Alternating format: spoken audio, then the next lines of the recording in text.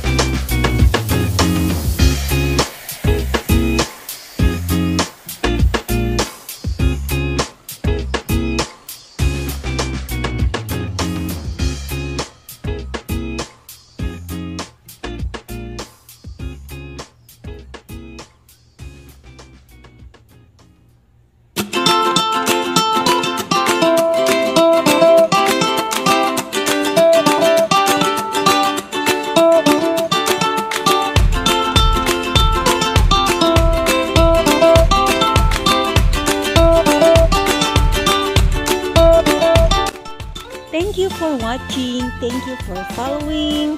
See you on my next vlog. Bye-bye!